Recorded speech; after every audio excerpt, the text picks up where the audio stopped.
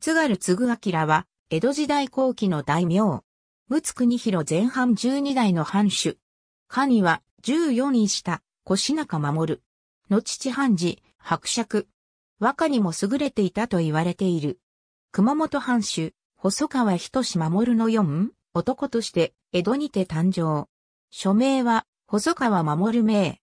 安政4年6月28日、弘前藩11代藩主、津軽淳章の婿養子となり、その返記を受け、津軽省列と名乗り、後に継ぐ明と改名した。同年12月16日、受語位した、土佐守に除任する。後に、腰中守に改める。安政5年11月23日、14位下に昇進する。安政6年2月7日、養父の隠居で家督を継ぐ。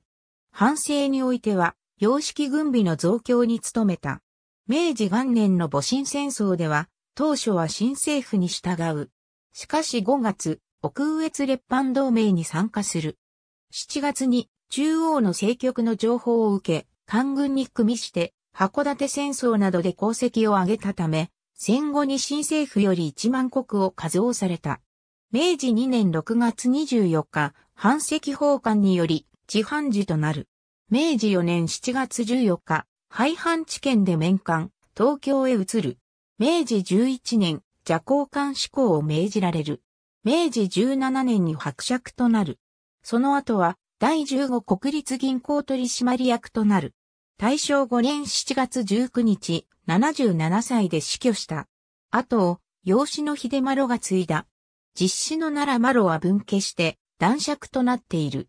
ありがとうございます。